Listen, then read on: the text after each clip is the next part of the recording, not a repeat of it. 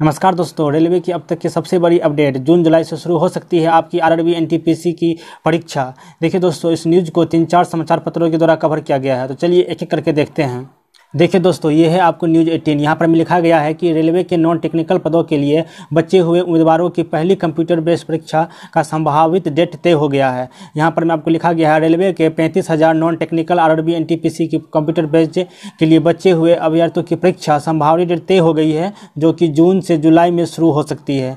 यहाँ पर मैं आप लोग देख सकते हैं, न्यूज़ एटीन के अलावा आपको न्यूज़ में भी इस न्यूज़ को कवर किया गया है। चलिए देखते हैं। देखिए दोस्तों, रेलवे के नॉन टेक्निकल पदों के लिए बचे हुए उम्मीदवारों की पहली कंप्यूटर बेस्ड परीक्षा की संभावित डेट तय। दोस्तों, यहाँ पे लिखा हुआ है, रेलवे के पैंतीस हज़ार नॉन टेक्निकल आरआरबी एनटीपीसी की पहली कंप्यूटर बेस्ड परीक्षा के लिए बचे हुए अभ्यर्थियों की परीक्षा डेट करीब करीब तय हो गई है। रेलवे मंत्रालय के अनुसार, यहाँ पर मैं जैसा कि आप देख सकते हैं, लिखा हुआ है, रेलवे मंत्रालय के अनुसार जून या जुलाई से दोबारा से परीक्षा शुरू की जाएँगी।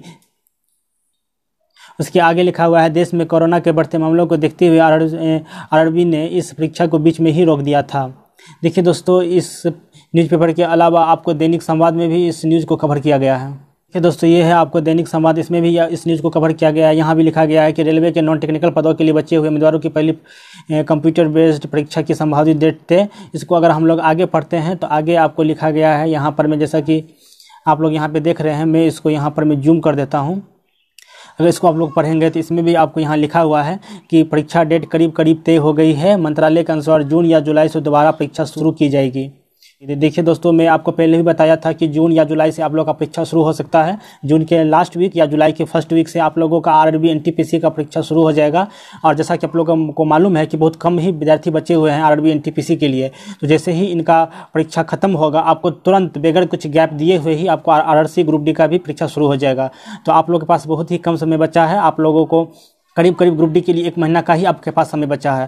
तो आप लोग जम के तैयारी कीजिए। आप लोग अगर करंट अफेयर पढ़ना चाहते हैं तो हमारे इस चैनल के प्लेलिस्ट में जाकर के करंट अफेयर का एक प्लेलिस्ट है, वहाँ से भी आप लोग पढ़ सकते हैं। देखिए दोस्तों, यदि वीडियो आपको ये अच्छा लगा हो तो लाइक कीजिए, नहीं तो आप डिसलाइक कीजिए। मिलते हैं अगले वीडियो में, तब तो तक के लिए धन्यवाद।